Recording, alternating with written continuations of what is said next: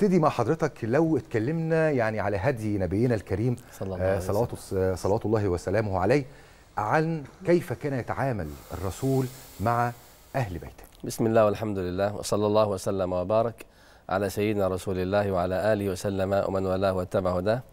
اللهم صل وسلم وبارك على سيدنا محمد وعلى آله عدد كمال الله وكما يليق بكماله. من أساسيات الأسرة السعيدة والبيت السعيد هو الذي يقوم على المشاركة وهو الذي يقوم على التعاون وعلى الحب وعلى المودة. لا على هذا البيت الذي يقوم على الندية وعلى الأنا لا بالعكس. التعاون هو أساس كل شيء في هذه الحياة الدنيا سواء مع زوجتي أو مع أهل بيتي أو مع أي حد. الله قال في القرآن الكريم وتعاونوا على البر والتقوى. ولا تعاونوا على الإثم والعدوان. ومن أكبر ألوان التعاون على البر والتقوى في في البيت. الله يقول ومن آياته أن خلق لكم من أنفسكم أزواجا لتسكنوا إليها. وجعل بينكم مودة ورحمة. إذا من أساسيات البيت أن أن يحمل كل واحد منا هم الآخر. وأن يشعر كل واحد منا بهم الآخر.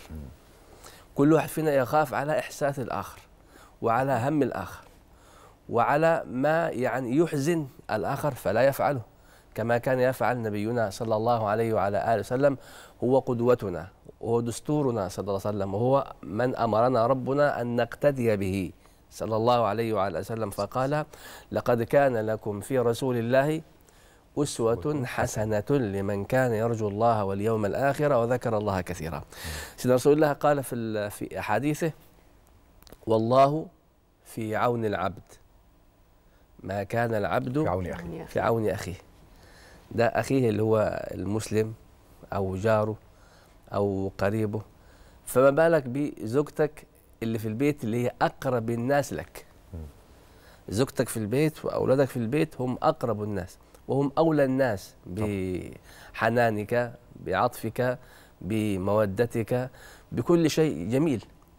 لذلك نستغرب من بعض الناس يكون برا البيت يعني مبسوط وميت فل وعشرة. يجي هو البيت يرجع في البيت. لا بالعكس سيدنا رسول الله كما تفضلت قال خيركم خيركم لأهله مم. وأنا خيركم لأهلي. لأهلي. البيت خلي بالكم يا جماعة. البيت هذا هو طريقي للجنة. البيت هذا في أولادي أو مع زوجتي طريقي للجنة. كان سيدنا رسول الله لا يستنكف ولا يستكبر مع أنه صلى الله عليه وسلم هو من هو في الفضل وفي المكانة وفي الشرف. سيدنا رسول الله هو أفضل من خلق الله.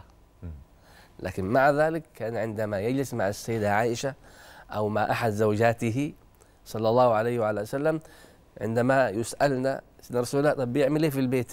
هل بيخش البيت وهو يعني متكبر مستكبر عنده يعني عنده أنفة عن العمل في البيت ولا كان يعمل؟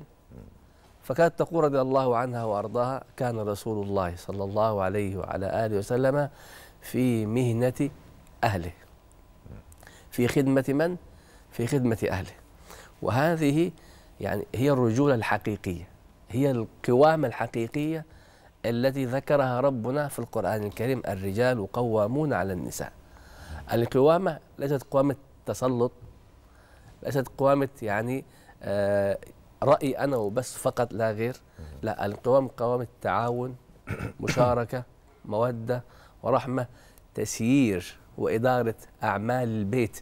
كما كان يفعل صلى الله عليه وعلى وسلم فكان يكون في خدمة أهله يعني في مهنة أهله.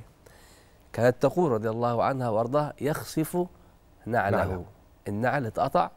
عزك الله الشبشب أو عزكم الله هو اللي خيطه بنفسه. ويرقع ثوبه.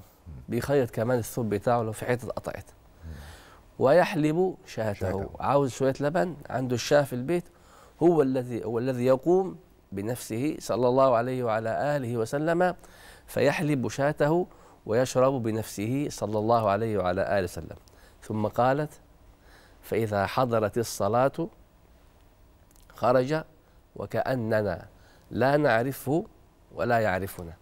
الصلاة التي هي واسطة بين العبد وربه اتصال بين العبد وربه. فسيدنا رسول الله هو سيد المتواضعين.